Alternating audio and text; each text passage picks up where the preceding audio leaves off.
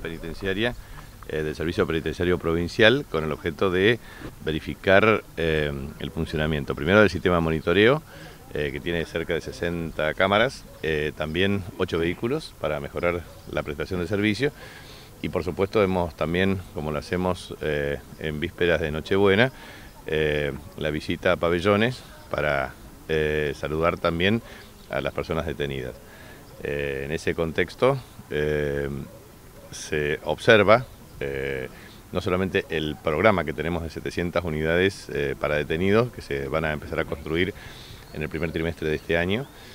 sino también eh, todo un programa de intervención de carácter estructural y a su vez también de capacitación para la inserción laboral de las personas que estuvieron privadas de la libertad, pero que después, obviamente cumplido su condena, pueden insertarse socialmente.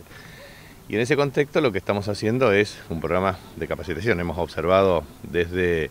el, desde manejo de PC hasta la terminalidad educativa, pasando por este, el desarrollo textil, como así también cuando la planta de Cajiva ya empieza a funcionar en enero-febrero, eh, también lo hacen a través de un sistema de eh, empleo con personas eh, eh, entretenidas.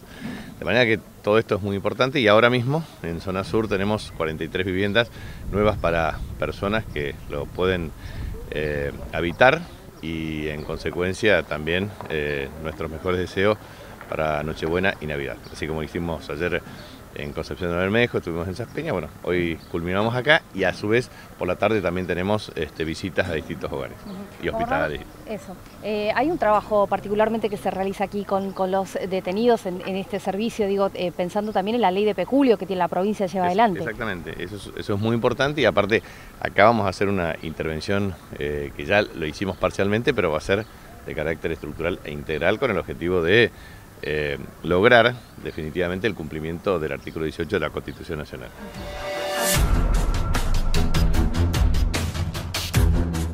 Bueno, la verdad que el acto central fue saludar en el pabellón eh, de buena conducta eh, por las fechas que estamos atravesando hoy, que es la víspera de la Navidad.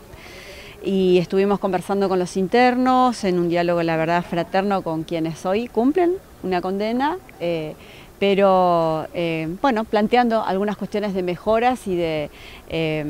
tienen un pabellón muy lindo, cuidado por ellos mismos, con su esfuerzo, entonces planteando algunas cuestiones este, que tienen que ver con, el futuro de ellos y con actividades que pueden realizar aquí adentro en, la alcaidía como trabajos remunerados para... Eh, remunerados por, por empresas o por eh, cooperativas y eh, la verdad que interesante la charla y bueno, y obviamente el saludo fraterno del señor gobernador con quienes hoy cumplen eh, una condena y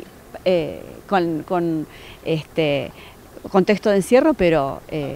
pensando también en la, en la Navidad. Y después, bueno, la entrega de vehículos, que vehículos que estábamos conversando recién ahí con la jefa del servicio penitenciario, eh, desde la formación del, servicio penitenciario como tal, ustedes saben que antes esa función de traslado y de cuidado de detenidos la, tenía la policía. Sí, la verdad que desde que se formó el servicio penitenciario, la idea es, era tener las ambulancias, eh, que es, eh, en la emergencia a nosotros nos sirven, es una para esta unidad y otra para la unidad de Sáenz Peña.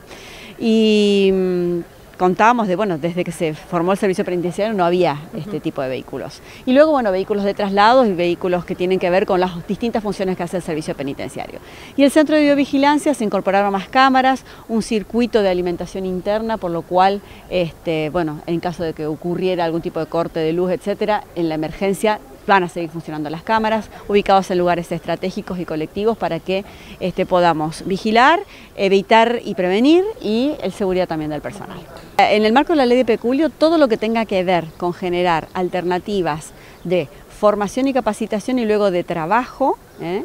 Eh, entiéndase, trabajo remunerado por las empresas con las cuales estamos haciendo convenios, estamos haciendo convenios inclusive con el Ministerio de Seguridad y Justicia de la Nación, eh, que tienen que ver con reciclados de papel, de cartón, etcétera, que son empresas que ya trabajan eh, a nivel nacional y bueno, se están haciendo esos convenios con nosotros. Eh, mm,